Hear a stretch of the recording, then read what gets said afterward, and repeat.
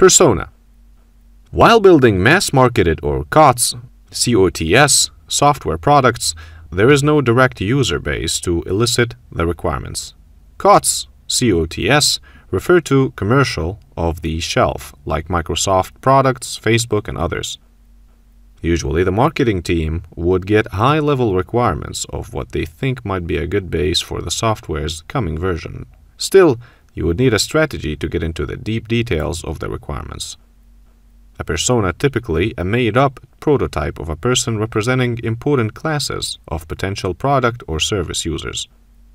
We imagine those personas with many details, such as behaviors, workplace, activities, belief systems, etc., to form a more concrete image.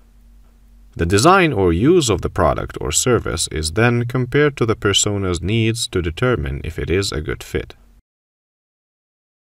Persona, from its name, is the aspect of someone's character.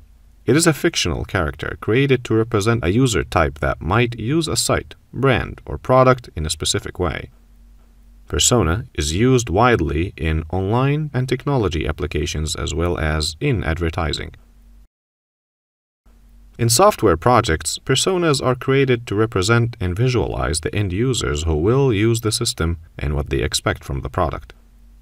The main benefit of creating a persona is that it keeps the project developers stay customer centric and focus on the expectations of people who will use the system.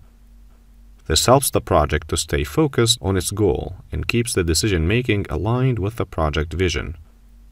Let's have an example of personas for a mobile game application we might create the following persona. Name, Jason. Age, 23. Job, college student. Jason has a bank account where he cannot exceed a limited allowance to spend every day. Money is deposited once every month from his father. Name, Sarah. Age, 28.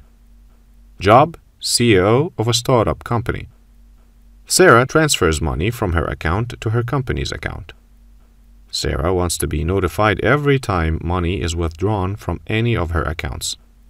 You can notice that you would have to think of small accounts and minimal user interaction whenever you think of Jason, while whenever you think of Sarah, you would have to think of many transactions that need to be analyzed. I've worked on projects where we would have a life-size portrait of Jason and Sarah in our project meetings.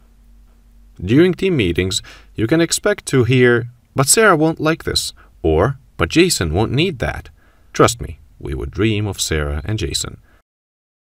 Therefore, Persona is a tool that does wonders in capturing project requirements from the customer's or end user's perspective to ensure that the product provides the intended business value. Roles are different than personas. In one sense, a persona is usually treated as a monolithic person with a fully formed personality that does not change.